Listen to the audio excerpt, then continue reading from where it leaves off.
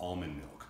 And this is the base for what I put in my protein powder, what I combine to make my shake post-workout. I use a whey protein isolate and I use almond milk as the, uh, the liquid. Some people use water, some people use milk, I use almond milk.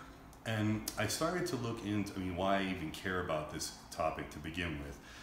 Uh, milk doesn't work too well with me, and also I don't feel uh, as if warm milk tastes that good. So I kind of like don't like to use milk post workout, even if it is a, a, a, time where I'm trying to gain weight.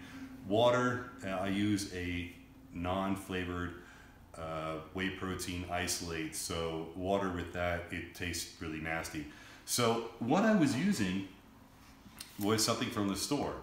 And I was concerned about sugar because they, they all quite, they have quite a bit of sugar in it. So I looked for the unsweetened one, but then I chose the vanilla. Uh, I'm sure a lot of you guys have seen store brands that are very similar to this. I'm just gonna go over with you the, the, the nutritional value of this, okay? One serving of this has 30 calories. One serving is only 30 calories. Now for some people that's good, low calories, I understand.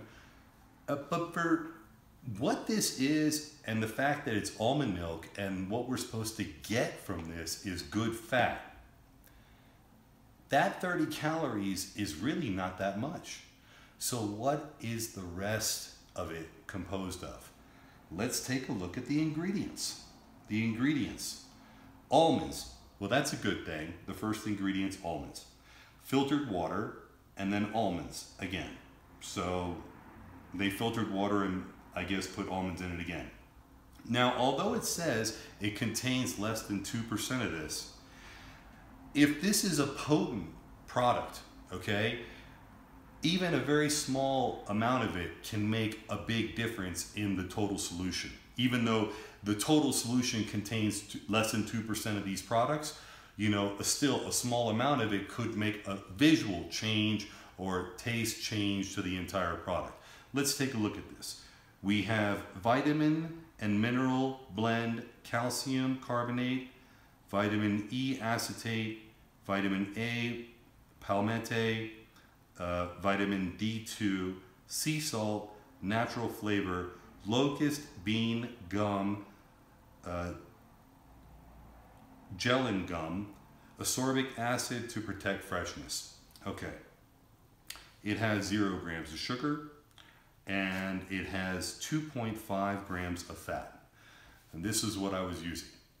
Now I'm going to tell you why I decided to make my own almond milk. So this was a store-bought almond milk that I got and I guess because of YouTube we have to cover up everything. I'm still learning this stuff. Anyway, I decided that there was too much gum and too much filler in this. It looks good, tastes kind of shallow. There really wasn't enough calories in it for me. I didn't want sugar.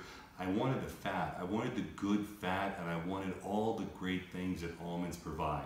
And I'm everybody has Google. You can just Google all the great things that almond provide nutrient. Now, I bought this juicer.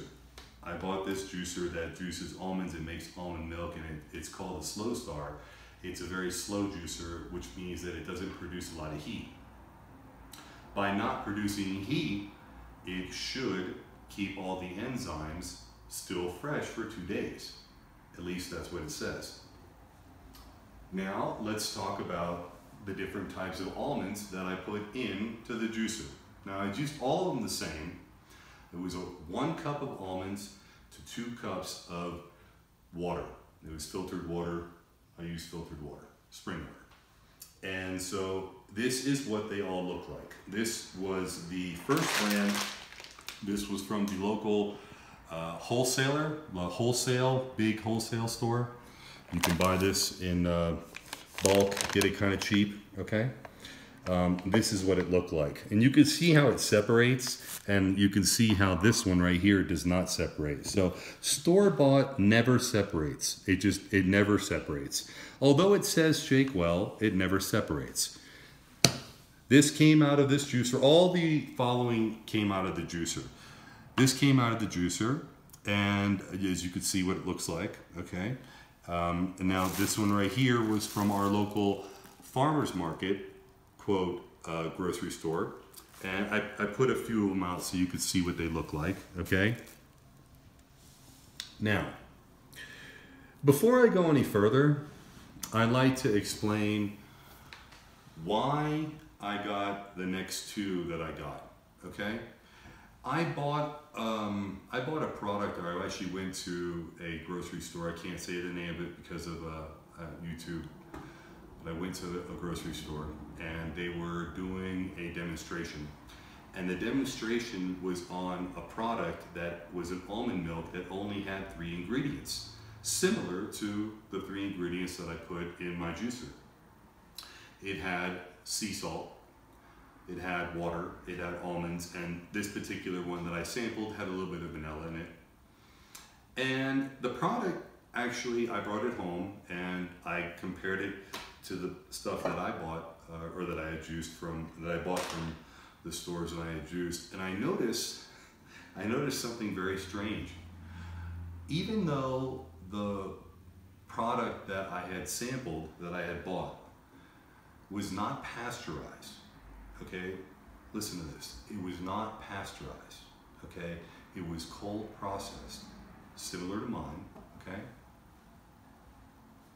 The problem was the product that I made with these almonds myself using the same ingredients, it went bad. It actually fermented. You could smell it. You would open it up, there was bubbles, there was gas, and I couldn't figure out why. So I, I asked, I asked, and you know what? It just so happens that sometime around 2012, there was a outbreak of salmonella in almonds. And 100% of the almonds that are grown in the, for sale in this country are grown in California. 100%. Now, I'm gonna I'm not gonna get into you know, why California, whatever, but it takes at least one gallon of water to produce one almond. One almond. And it takes two years for an almond tree to produce an almond that can be utilized. Two years, okay? So during that time, if there's a forest fire or something like that, that's gonna drive the cost of almonds up have companies put fillers in their products. Those fillers then make the product look like real almonds, but you're not getting the quality of what is essential from the almond. Now, as bodybuilders or as people who care about our health, we shouldn't be putting gum and fillers in our body if we can avoid it. Now, if, if you don't have the time, they, they do make a product. I can't say the name, but they make a product that uh, does not have pasteurized almonds, and that's the key. The pasteurized almonds actually fermented. Unbelievable. Unbelievable. They were pasteurized, but they fermented. Now, what we did was we did some investigating and found out that in another part of the world, um, Spain, I think I can mention that, um, they grow almonds and they're all organic, they're non-GMO, and they're also not pasteurized. So I went and bought those. And those are over here. From the same, from the same juicer, I juiced almonds. As you can see, these were made for almond grade. These were made for milk grade. Here's what they look like, okay? And turn them over for you. And these over here or from another company in Spain. And here's the milk. See how it separates, by the way. And here's another company in Spain. And these are also, you know, they there is no such thing as GMO in Spain. It's it's outlawed. So uh, it's all organic regardless. And here's what it looks like. Now here's how it separates. Okay. Now you can see the separation in the pulp. Now we did remove the pulp, and this is the juice. Again, this did come from the juicer. So we don't really know exactly how many calories are in this. However, it's very clear to see that it's not 30 calories. So somebody who's trying to put good fat in their body, uh, to protect themselves from maybe some other substances they're taking or whatever, or just to keep their organs healthy, should have the quality of the almonds, not the fillers, okay? So I went the extra step and made this, made the choice of buying this from here, from the United States, and found out that it's spoiled.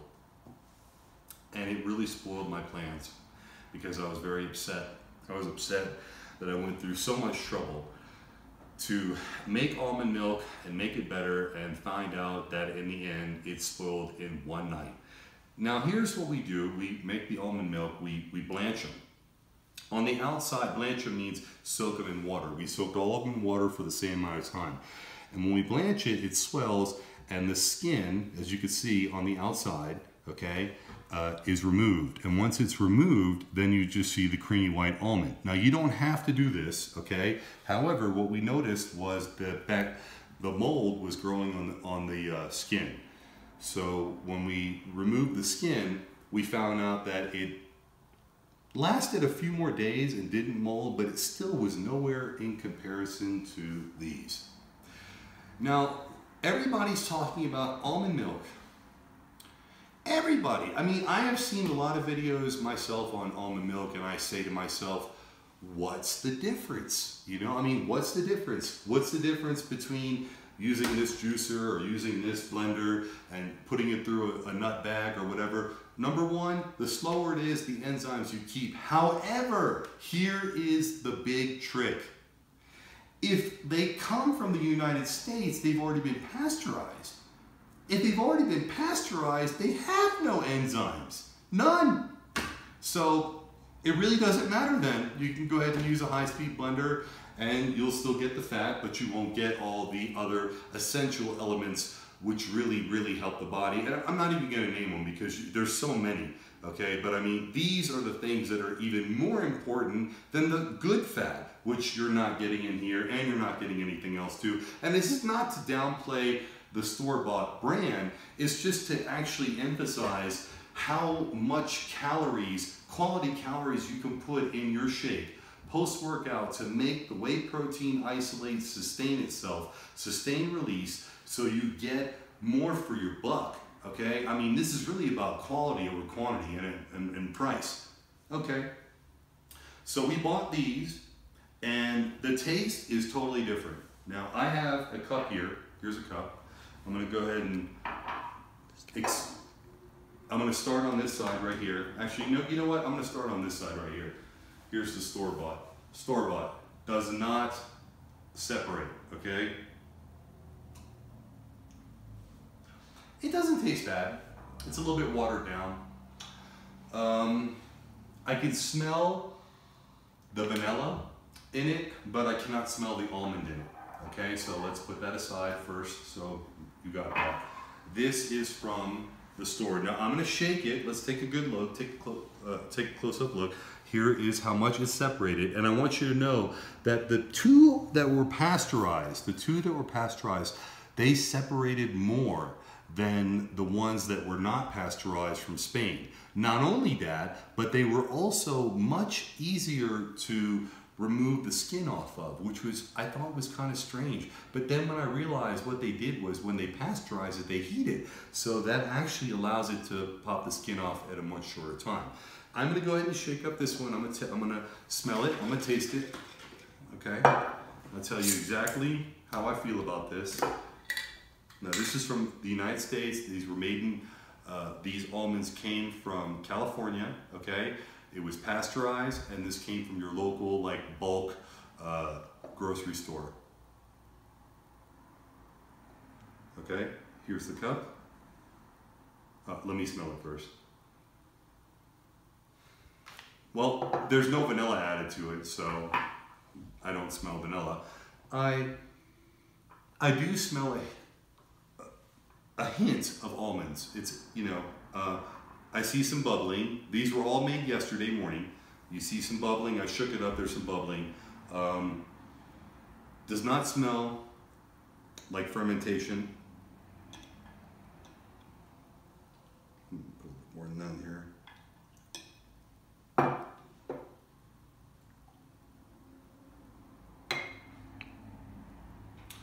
So it's thicker, it's not as watered down, really doesn't have that much flavor. Um, I did put a little bit of sea salt in each one, uh, an eighth of a teaspoon um, in each one of these to preserve them. Um, and really it kind of neutralizes out this flavor right here. So I do taste slight amount of sea salt, but not really much. Not really much on the almond side. Slightly, not much. Okay, these are organic by the way. These were not organic, these were organic, okay? But they were still, California, still pasteurized. Let's take a close look. Okay, see the separation? Let's take a close look at the almonds. Okay, all right. And again, these are from the bulk section. These are past, these are pasteurized, but they are organic. I'm gonna shake it up. And they're raw, by the way. These are raw.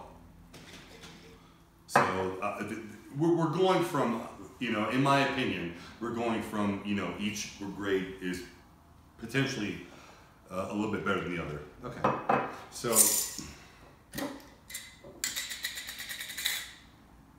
oh, interesting.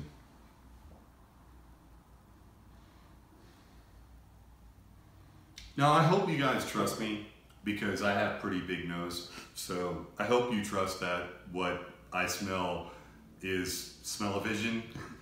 All right, no kidding. This smells slightly fermented. I'm gonna, I'm, I'm still gonna drink a little bit of it because that's that's the whole point of this YouTube video. If I get sick, I'll, I'll, I'll, I'll do another, another video about that, but if I wasn't doing this video, I probably wouldn't drink this. All right.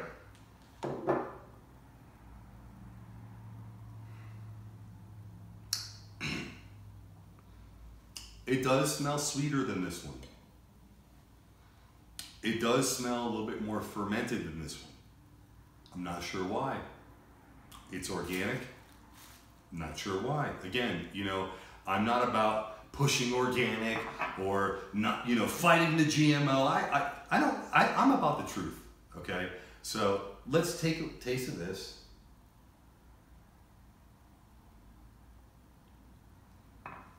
Okay. That wasn't good. Excuse me.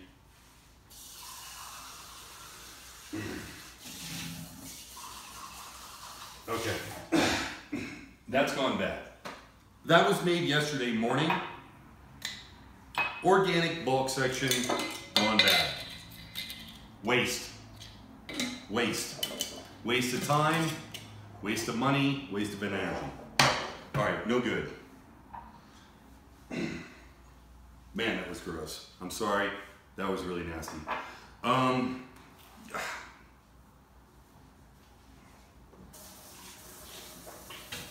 was really gross. Okay. Had to rinse my palate out. That was pretty nasty. Um, here's a brand from Spain.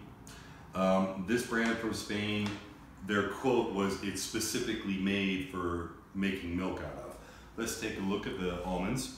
They do look different, by the way. Okay, let's take a look at the milk. There's no bubbling at all. Um, you can see the uh, total separation in the layers right here, okay?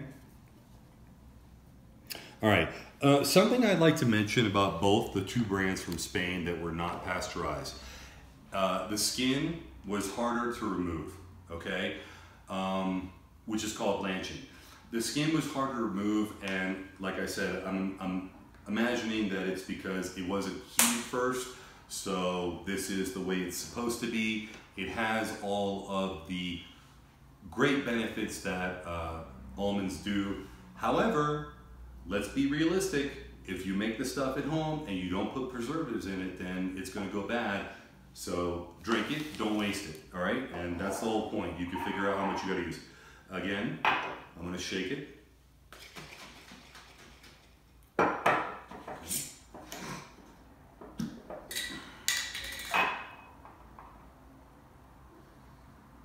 This smells pretty creamy.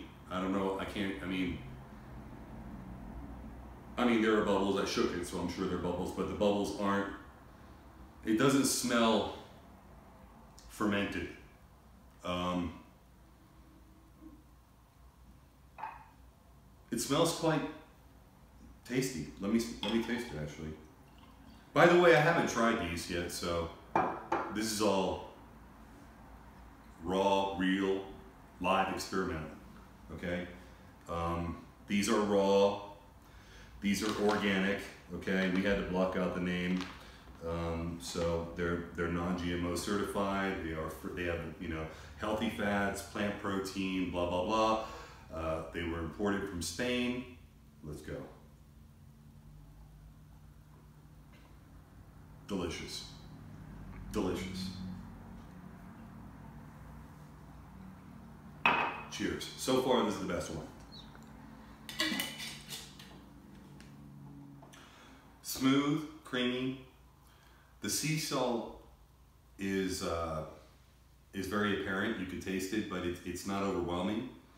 Um, it had a very, very nice texture and um, it, it, it, doesn't smell, doesn't taste at all like it's fermenting. Again, these were all made at the same time. So what we're really finding out is, is that it's the nut. It's not the, the way it's made. It's not, you know, how it's, it's, it's the source, the source of the actual almond, where the almond comes from. All right, let's try the next one here. These are also from Spain. Now these were not, they were not, it did not claim that they were for making almond milk, but um, they are uh, they are from Spain and they are non-GMO because in Spain GMOs are, are not allowed. Okay, so here we go. Uh, let's take a look at the, uh, the the separation. Now the separation is is a lot like the other one. It's it's it's you know you can see clear separation here, and then it's a little bit creamy on top. Uh, so it does look good, no, uh, no bubbles. So I'm imagining this is not fermented either.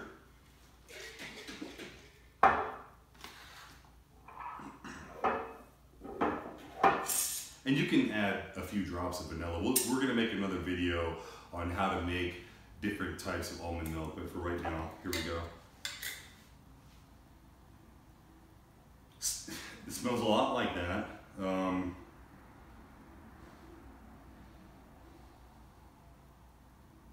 creamy bubbles, but they're not, they don't, doesn't smell sweet, no, no fermentation?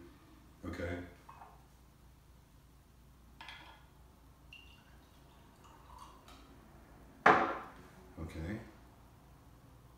And when pour it, the, bu the bubbles are gone, which is good. That's a good thing. That means that, you know, the bubbles just came from shaking it.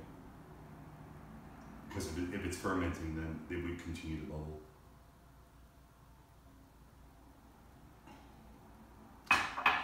Oh, wow. Wow. That's the best one so far. I really thought this one would be better because I didn't, I didn't, I didn't know. This says it's for making almond milk, and this doesn't. This was more expensive than this, believe it or not. I mean, literally twice the cost of this. Uh, I, unfortunately, you're gonna have to message me to find out which ones these are. Um, but the point I'm making is that it wasn't about the money. I mean, uh, excuse me, Mm. It's phenomenal. The, the, the taste of the almonds actually, you, you, it, it hides the sea salt. I mean, it's so much better that like I'm very surprised that um, it tastes so creamy and, and so uh, so delicious, you know. Okay, so non-pasteurized does not seem to ferment.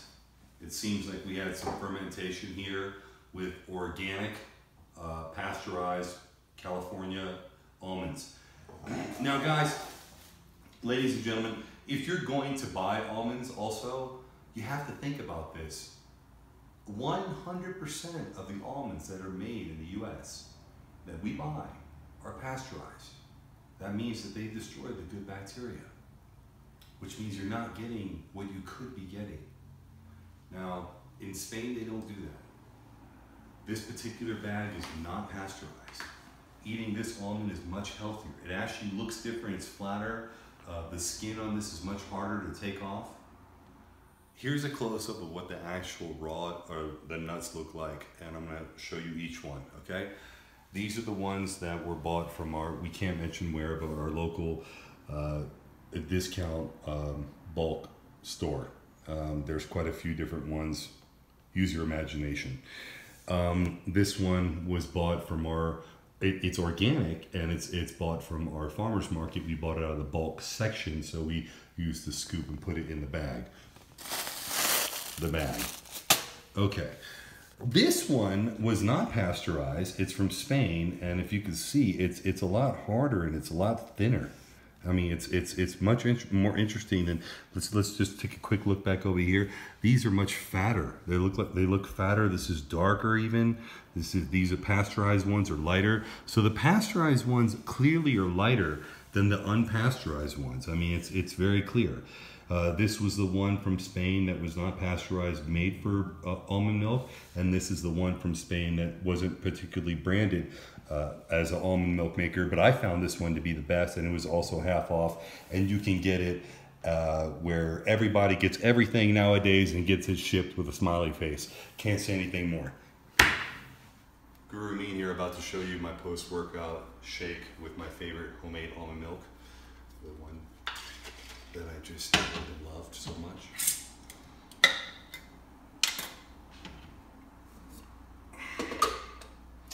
And what I normally do is I separate the powder from the uh, from the uh, almond milk and the uh, blueberries, which are over here, organic, third a cup.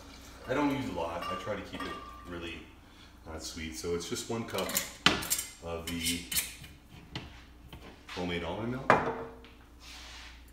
one third of a cup of frozen blueberries. That gives me the, uh, makes it cold, tastes good.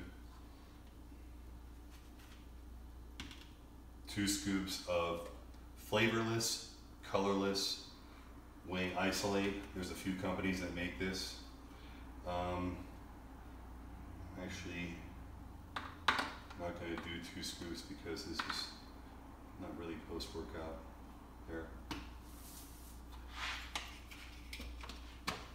But if it was post workout, let's say 40 to 50 grams of whey protein isolate.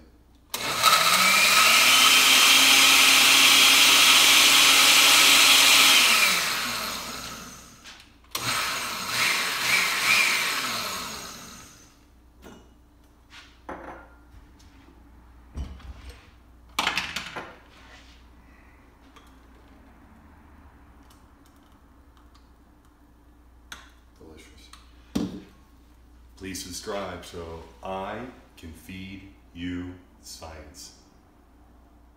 Quick shout out to John Norris of the Loyal Brand, www.theloyalbrand.com for supplying today's attire. This is one of his hoodies and his shirts.